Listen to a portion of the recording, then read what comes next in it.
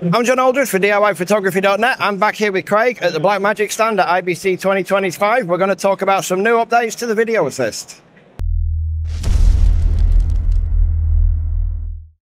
So, Craig, I've been told you've got some new updates either here already or on the way for Video Assist and Sony. Can you tell us about those? Yeah, absolutely. So, something we've been working on for a while is having the ability with Blackmagic RAW as our own codec and capture system that can go through DaVinci Resolve available in Video Assist for third party cameras.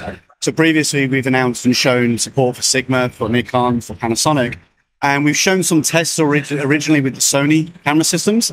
And here at the show, we're showing that we have Blackmagic RAW capability with our video assist to record via Sony FX3. And this is a fantastic update that will come out shortly, end of the month into October, to support owners of this camera system so they can start to use the benefits of Blackmagic RAW. We're going to bring that to the FX3, FX3A, and FX30. Um, you know, camera systems that are small, lightweight, really, really popular. We know there's lots of users and operators out there that want to try and use the Blackmagic RAW product, but it isn't available in the camera hardware itself. We can now access it through it. And what we'll do then is follow that update with a second, which will bring the same update for video assists to work with Sony FX6 and the FX9 and give complete coverage across that range of cameras. So all of those owners and operators of the Sony hardware can get the workflow benefits of Blackmagic RAW DaVinci Resolve from us. Brilliant. And what other codecs does this support for Sony besides Blackmagic RAW? Well, we already have ProRes in there as a standard. Yeah. Um, and also you can do DNX and Avid in certain formats as well. So the information about the different codec options are on, on the website for the video assists. And there's an off-board monitor as well. They've got, you know, great features. They can be HDMI and SDI input. Um, and they've got a load of different sort of overlay monitor controls, scopes, and, and histogram controls. So they're really, really good off-board monitor production system bit that was lacking was the Blackmagic Raw, uh, raw workflow. So we put that in, and they're a complete unit now that gives you that control through. Brilliant. So straight out the camera, straight into DaVinci Resolve. Yeah, and for us, the speed and efficiency of Blackmagic Raw is the benefit of DaVinci Resolve. It is. It's a native codec. It's a little bit of Blackmagic from DaVinci Resolve embedded in your recording. So we're creating that workflow from camera acquisition point as fast as close as we can to the camera sensor. Um, and it's built and it's designed around the sensor as well.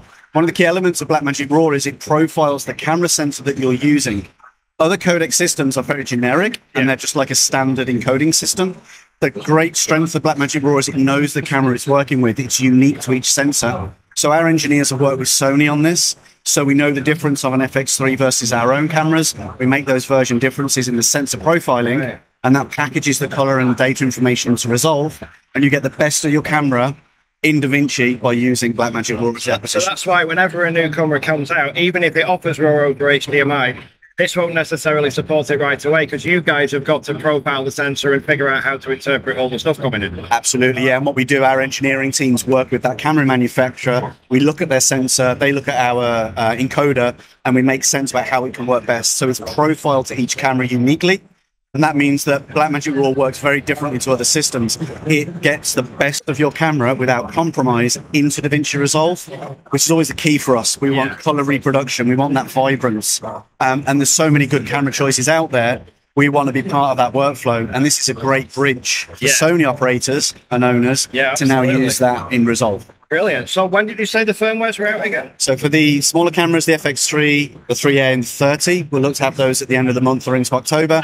And then before the end of the year, we'll have a release for FX6 and into the FX9. Brilliant. Wonderful. Thank you very much. All right.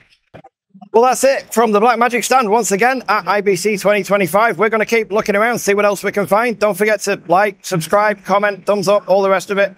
We'll see you in the next one.